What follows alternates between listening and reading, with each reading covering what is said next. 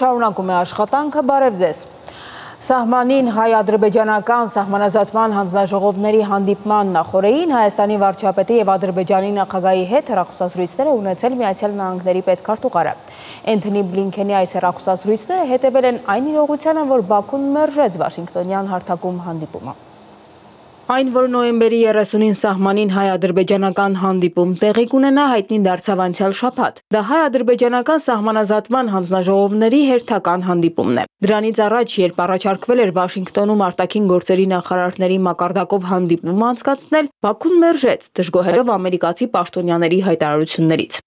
Դրանից հետո պարզ դարձավ, որ սահմանին հանդիպում կլինի, բայց դա սահմանազատման հանձնաժողովներինն է լինելու, ինչպիսին մինչ այս էլ եղել է։ Եվ այս հանդիպման նախորդին ժամային շատ քիչ տարբերությամբ Միացյալ Նահանգների պետքարտուղարը հերախոսազրույցներ է ունեցել Հայաստանի վարչապետի եւ Ադրբեջանի նախագահի հետ։ Փաշինյան-Բլինքեն զրույցում ըստ ամերիկյան կողմի պաշտոնական հաղորդագրության քննարկվել է Միացյալ Նահանգների աջակցությունը խաղաղության համաձայնագրին հասնելու ջանքերին։ Կողմերը քննարկել են Միացյալ Նահանգների աջակցությունը Հայաստանի եւ Ադրբեջանի միջև կայուն եւ պատվաբեր խաղաղության համաձայնագրի հասնելու ջանքերին։ Պետքարտուղարը վերահաստատել է Միացյալ Նահանգների շարունակական աջակցությունը Հայաստանի ինքնիշխանությանն ու տարածքային ամբողջականությանը եւ նշել է Հայաստանի հետ երկկողմ համագործակցության ընդլայնման ուղղված ջանքերը, որպես աջակցություն բարեկեցիկ եւ ժողովրդավարական ապագայի նրա տեսլականին։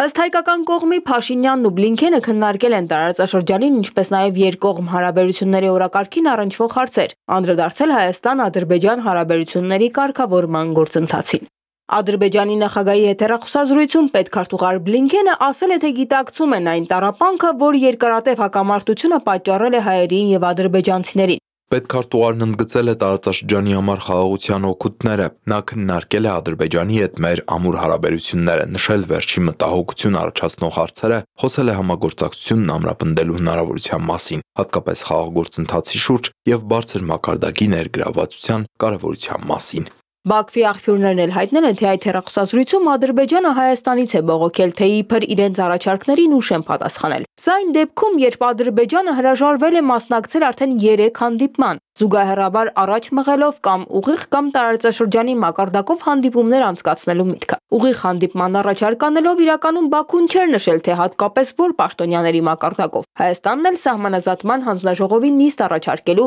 միտք էր առաջ քաշել։ 1.5 տարի գործող փոխվարչապետերի գլխավորած այդ հանձնաժողովը մինչ այժմ 4 հանդիպում է անցկացրել։ Մեկը Երասխի հատվածում, մյուսը Տավուշի մարզում, մեկը կանել Մոսկվայում եւ Բրյուսելում։ Վերջին հանդիպումն ավելի քան 6 ամիս առաջ է եղել։ Իդեպ այս հանդիպումը տեղի է ունենում այն ժամանակ, երբ Հայաստանը հրապարակել ու տարբեր հարթակներում խոսել է խաղաղության խաչմերուկ նախագծի մասին։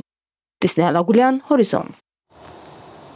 Միացյալ Նահանգների պետքարտուղարությունը անդրադարձել է հարավային Կովկասում գայունության հաստատման հերանեկարներին, նշել Վաշինգտոնի կարծիքով Երևանի եւ Բաքվի միջև կա խաղաղության իրական հնարավորություն։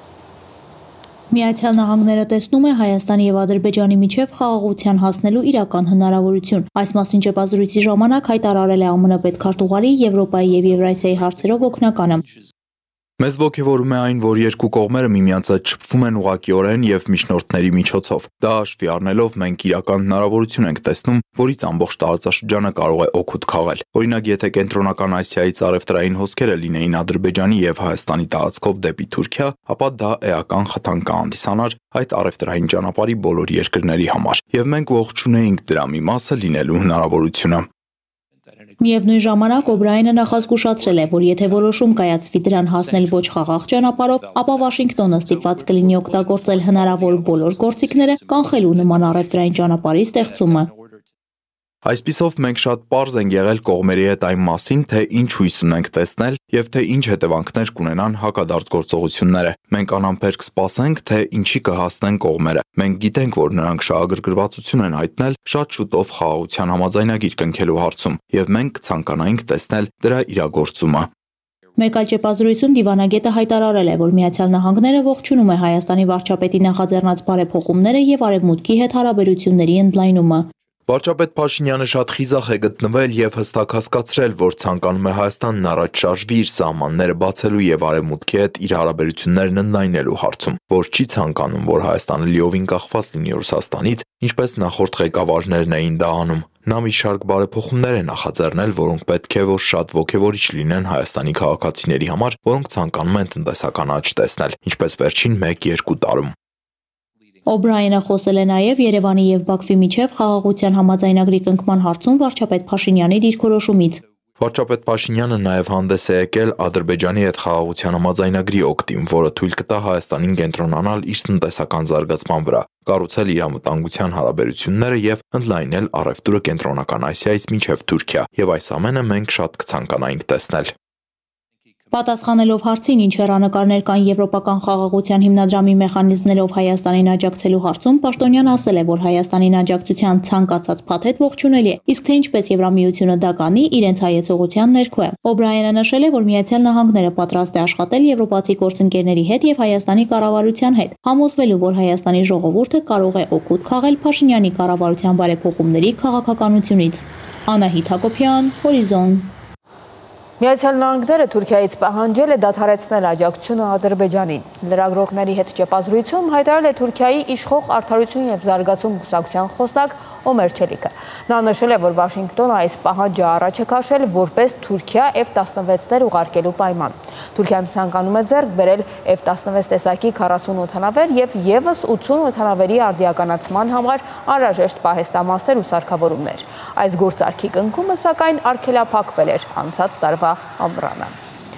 Վարչապետ Նիկոլ Փաշինյանը ընդունել է Լիտվա-Հայաստան միջխորհրդարանական բարեկամական խմբի ղեկավարի ղեկավար Ռայմունդաս Լոպատային։ Զրուցակիցները մտքեր են փոխանակել տարածաշրջանում տեղի ունեցող գործընթացների շուրջ։ Քննարկվել են նաև Լեռնային Ղարաբաղի բռնի տեղահանված անձանց հումանիտար խնդիրները, Հայաստանի կառավարության կողմից դրանց հաղթահարման ուղղված քայլերը։ Անդրադարձ է կատարվել Հայաստանի կառավարության կողմից ներկայացված խաղաղության խաչմերուկ նախագծին եւ վերջինիս նպատակներին։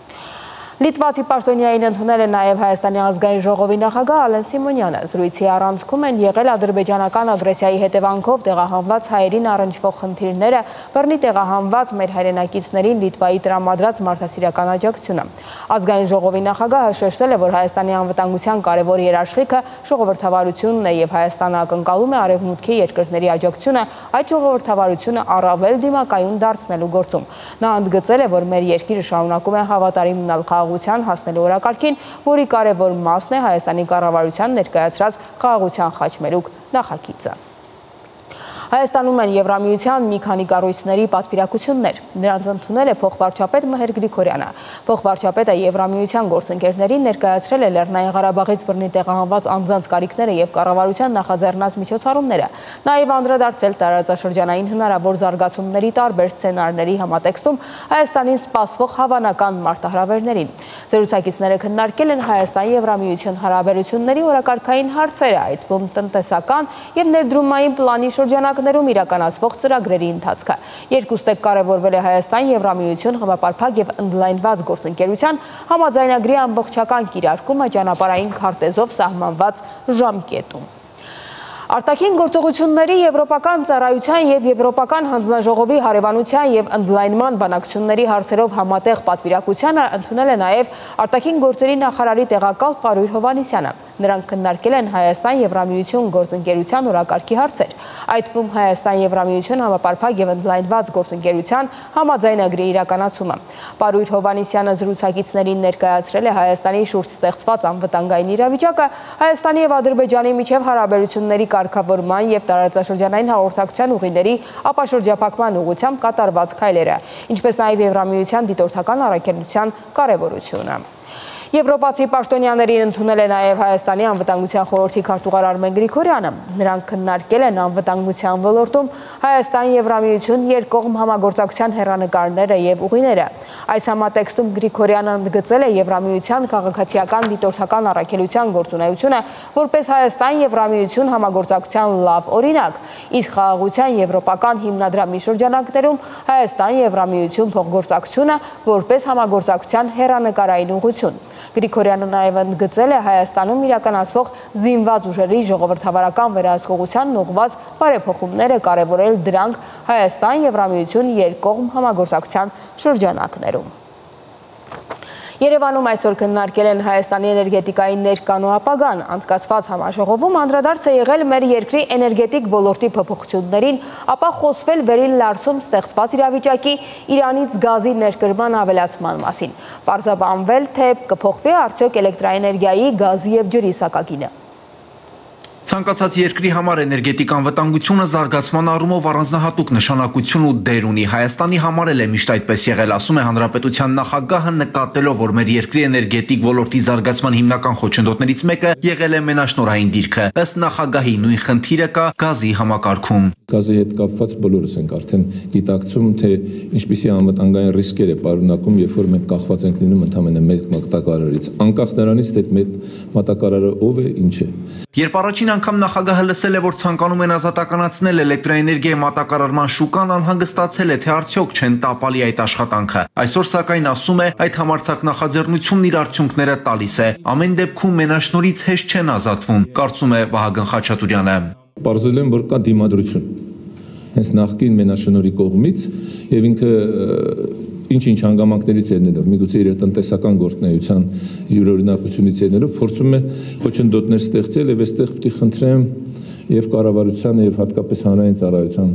մեր կարգավորող հանձնաժողովին, որպեսզի շատ ավելի խիստ լինեն եւ այդ դրսեւորումների դեմը առնեն։ Հանրապետության նախագահի խոսքով էներգետիկ բալանսում կտրուկ փոփոխություններ են տեղի ունենում, այդ փոփոխություններն ավելի մեծանալու են, քանի որ ըստ նրա կառավարությունն իր արչև լրջագույն խնդիր է դրել այլընտրանքային էներգետիկայի տեսակարար կշիռն ավելացնելու առումով։ Դրա համար Հայաստանում հարմարավետ միջավայր է ստեղծվում, որ էներգետիկայի ոլորտում ներդրումներ արվեն։ Արդյունքում ել ավելի է բարձրանում երկրի էներգետիկ անվտանգության եւ անկախության մակարդակը։ Այս մասին էլ ազգային ժողովի փոխնախագահն է նշում։ Հակոբ Արշակյանը հայտնում է, որ ռազմավարության շրջանակներում իրագործ իրագործված բարեփոխումների արդյունքում 2022 թվականին գործարկված էլեկտրոնային հարթակի օգնությամբ Հայաստանում էլեկտրաէներգիա սպառողին ընձեռվում է հնարավորություն մատակարարին ինքնուրույն ընտրելու, պայմանագիր կնքելու եւ առևտուր անելու համար։ Այս կարևոր բարեփոխումը էներգետիկայի շուկայի ազատականացման մասին է։ Այս որոշման արդյունքում ցանկացած սպառող կարող է գնալ եւ ընտրել իր համար պայմանավորվել ցանկացած արտադրողի հետ եւ ստանալ էլեկտրաէներգիա։ Ստեղծվել են նոր հնարավորություններ ներդրողների եւ էլեկտրոէներգիա արտադրողների համար։ Այժմ շուկան ազատ է եւ ցանկացողները կարող են էլեկտրոէներգիա արտադրել, արտահանել եւ ներկրել Հայաստանից։ Հայաստանում վերականգնվող էներգետիկ ռեսուրսների կիրառման պարտադրված էներգետիկայի մասնաբաժինը համախառն վերջնական սպառման մեջ 2030 թվականին նախատեսվում է հասցնել 50, իսկ 2040 թվականին 60%-ի։ Այս մասին տարածքային կառավարման եւ ենթակառուցվածքների նախարարն է հայտարարում։ Միջոցառումից հետո Գնել Սանոսյանից լրագրողները հետաքրքրվում են, արդյոք քննարկվում է Իրանից գազի ծավալների ներկրումը մեծացնելու հարցը, որպեսի Հայաստանը կախում չունենա Ռուսաստանից։ Տարեկան 365 միլիոն մետր խորանարդ գազ ենք ներկրում Իրանից, որը գիտեք, որ հայտնի պայմանագրի հիման վրա 1-3 հարաբերակցությամբ էլեկտրաէներգիա ենք վերադարձնում դեպի Իրան։ Մենք մի քանի ամիս առաջ գործընկերների հետ կնքել ենք այդ համաձայնագիր այդ պայմանագիրը մինչև 2030 թվական երկարաձգելու փաստաթուղթը, որը ոչ միայն ուղակի ժամկետի երկարացումել, այլ հնարավորություն կա մեծացնել Իրանից գազի ներմուծում Հայաստանի Հանրապետություն եւ համապատասխան էլեկտրաէներգիայի արտահանումը, որը կարծում ենք առաջիկա տարիներին քիչ-քիչ այդպես կլինի, այսինքն ծավալները կփոխվեն։ Գնել Սանոսյանը մեկնաբանում է նաև Վերին Լարսի անցակետում տիրող իրավիճակը։ Նախարարը հաստատում է, որ այնտեղ խնդիր կա։ Կան նույն բեռներով բեռնած բեռնատարներ, որոնց մի մասն ասում է, մի մասը չէ։ Գործընկերները որոշակի բեռի ուսումնասիրություն են անում եւ որոշակի խնդիրներ են տեսնում։ Այս խնդիրը ավելի շատ էկոնոմիկայի նախարարության հատկապես հաշվի առնելով գյուղմթերքներին է շատ վերաբերում եւ մեր համապատասխան տեսչական մարմնների տիրույթում է Հարցին թե արդյոք խնդիրը քաղաքական դրդապատճառ ունի նախարարը պատասխանում է. Ռուսական տեսչությունը սահմանին տվյալ ապրանքների հետ կապված որոշակի մասնագիտական խնդիրներ է տեսել։ Հայաստանի համապատասխան մարմիններն էլ աշխատում են այդ գործընկերների եւ տնտեսվարողների հետ։ Իսկ արդյոք նախատեսվում է գազի, էլեկտրաէներգիայի եւ ջրի սակագների փոփոխություն։ Հանրային ծառայությունները կարգավորող հանձնաժողովի նախագահի խոսքով գազի սակագնի վերջին վերանայումը եղել է օգոստոսի 1-ին, մնացել է անփոփոխ։ Գարեգին Բաղրամյանի կարծիքով, եթե սահմանին գազի գնի փոփոխություն չլինի, վերանայման գործընթաց չի լինի։ Էլեկտրաէներգիայի մասով դեռ հստակություն չկա, իսկ ջրի սակագինը կմնա նույնը։ Վահագն Ակոբյան, Հորիզոն Այսքանն այս ժամին կհանդիպենք ժամը 20-ին։